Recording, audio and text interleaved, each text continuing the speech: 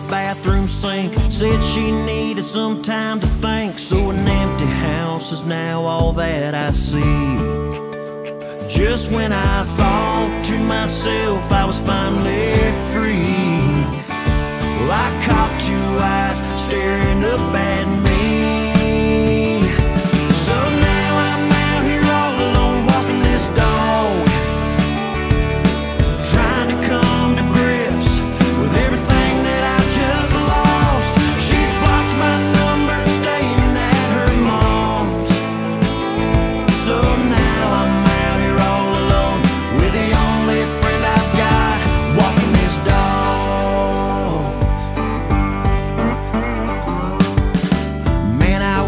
she would come back home, but my stubborn ways have her gone. There's no telling how I'm gonna fix this. So I guess I'll go and give her space and pray my sweetheart